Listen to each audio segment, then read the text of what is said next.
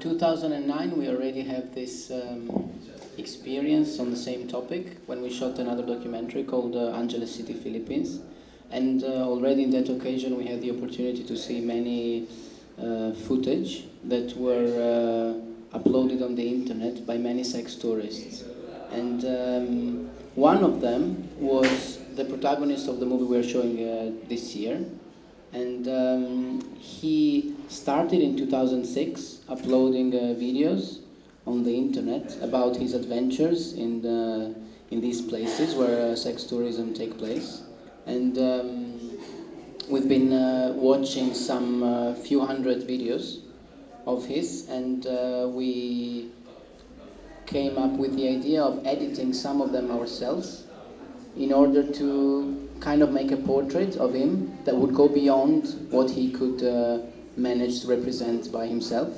We obviously we are aware of the fact that um, if you put an image in a different context, you change its meaning, and therefore our uh, editing has um, tried to really, as I said, just to make a kind of an intimate portrait of the protagonist that uh, would have been impossible in the if we try to shoot this in a conventional way, so we shooting him, but that um, is possible if it is him uh, trying to film what he thinks is his own uh, experience. And then with our editing, we just try to kind of um, help his uh, personality to come out. And um, we we spent so many months just watching this footage that uh, actually at the end we kind of got uh, affectionated maybe of, of, this person and uh, I must say we don't think he's uh, an absolute uh, evil person. We tried to to really understand him through the representations of himself that he that he was giving. And that was the that was the idea of the of the whole movie. We think it's um, it's very contemporary thing to do to work with uh, found footage that is uh, uploaded online, and uh, and therefore we thought, uh, yeah, it's uh, it would make sense to to just work with you with YouTube videos. Yeah, yeah, one more more to play. Hop.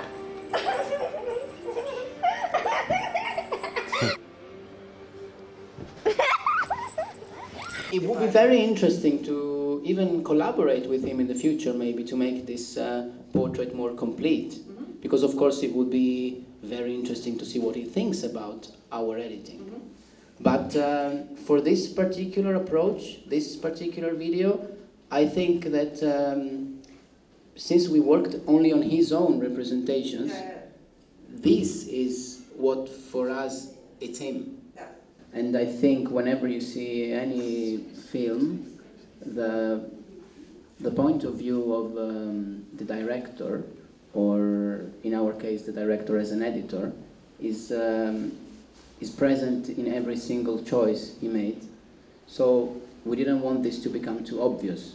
So it kind of plays as um, I give you this video as putting yourself as an audience in the shoes of the person shooting.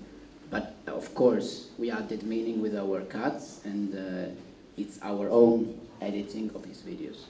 Okay, so this uh, documentary we're presenting is 25 minutes, and now we are actually thinking about um, making this uh, a long feature documentary with um, not only YouTube videos, but different approach.